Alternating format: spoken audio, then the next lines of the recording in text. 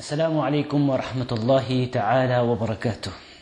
Dear brothers, sisters, and friends, Alhamdulillah, we thank Allah, we praise Allah subhanahu wa ta'ala that Allah has blessed us with a great opportunity, an opportunity of a lifetime, I would call it, that we are, inshallah, we will be blessed by the visit of one of the greatest scholars of the modern era by the name Shaykh Mufti Muhammad Taqi Al Uthmani, Hafidahullah Ta'ala. Mufti Taqi Uthmani, for those of you who don't know him, and I'm sure many people do know him, but just for those who don't, is considered to be one of the greatest living scholars in terms of hadith, in terms of fiqh, and someone who is an expert in Islamic finance, well renowned throughout the world. Someone who's authored numerous books, approximately over 100 books in Urdu, in English, in Arabic. He actually has a good six, seven volume commentary in Arabic on the Sahih of Imam Muslim known as Takmila Fathul Mulhim. And numerous other works. Recently he translated the Quran into English, has the translation of the Quran in Urdu.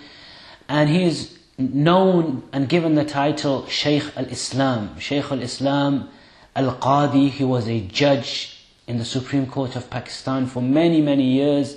He's a scholar that is well respected among scholars. Scholars really recognize his great status and his great position, his maqam and his level.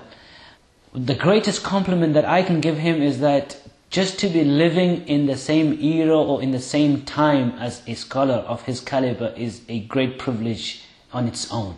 Shaykh al-Islam Mufti Muhammad Taqi Uthmani Hafidahullah, may Allah preserve him, will be visiting England, United Kingdom towards the end of June. He will be touring three main cities of England where there are programs that have been arranged on the life and works of one of the great scholars of the subcontinent, known as Hakim al-Ummah, the, spirit, the spiritual physician of the Muslim Ummah, the wise man of the Ummah community. Hakim al-Ummah, al-Shaykh, Maulana Ashraf Ali al-Thanawi, rahimahullah ta'ala.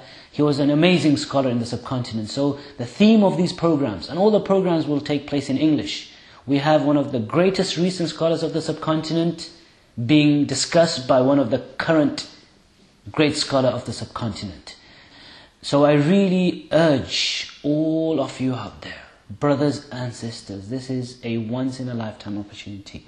This is no normal ordinary scholar. He is a unique scholar, someone of amazing deep knowledge of the Islamic sciences.